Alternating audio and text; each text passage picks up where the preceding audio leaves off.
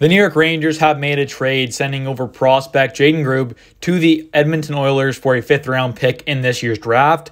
And, you know, it's kind of interesting thing what happened here, Jayden. And he was obviously a 2021 third round pick of the New York Rangers, uh, playing in the WHL with the Deer Rebels. And we'll get to his kind of stats in a second. But the Rangers, his rights were going to expire for Jayden, so the Rangers didn't want to sign him for whatever reason. They kind of went out a month or so ago and kind of said they weren't going to re-sign him.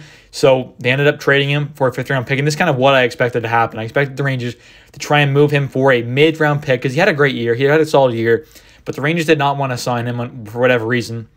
And um, at least they get a pick here, get a fifth rounder for this year's draft. It's a good draft. Obviously, a fifth round pick is it is what it is. It's not a whole lot, but it's definitely better than getting him for nothing. And you know, and rain and draft where the Rangers only have four picks. This is nice to add another pick in there in the middle rounds and um, you know, just have some more picks because it's nice to have, you know, you can never have too many picks, is what I'm trying to say here. You can never have too many picks, and getting a fifth rounder for a guy who you were to lose for nothing is better than losing him for nothing, right? Even though he had a great year, and I kind of thought the Rangers should have price signed him, but anyways, that is what it is. Uh, taking a look at what's going on here with uh, Jayden Grubbe, though, he's a solid player, 20 years old, doesn't turn 21 until January.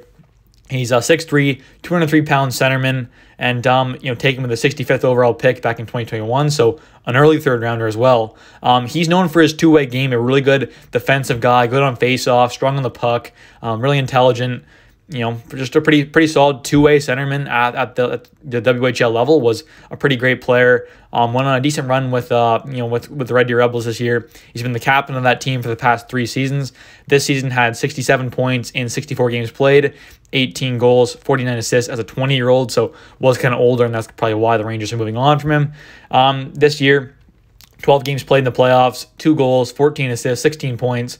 Um, he, he's a solid player. Like season last year, though, season before that, had only 35 points in 68 games played. So maybe this is a one and done kind of year, and that's why the Rangers looking to move on. And I mean, that's kind of fair. That's probably why you know he hasn't really proven it for uh, like a couple seasons. He's only had one big, big year, and um, it was still only 67 points as a 20 year old, which is honestly not the greatest thing in the world. You'd like to see him be like more like 75 kind of thing plus, but he's still a solid prospect, and getting a fifth rounder for the Rangers is not the worst thing in the world. It just does suck that you gave up a third round pick to draft him in the first place, and you ended up only getting a fifth for him in return. But anyways, it is a solid trade for the Rangers, and the Rangers now go into this draft with a first rounder, the Avalanche's third rounder, and um, the Rangers, well, the Oilers' fifth rounder now, and uh, the Rangers have their own sixth and Winnipeg sixth. So going into the draft with fifth, five picks now is pretty good and definitely better than going into the draft with only four.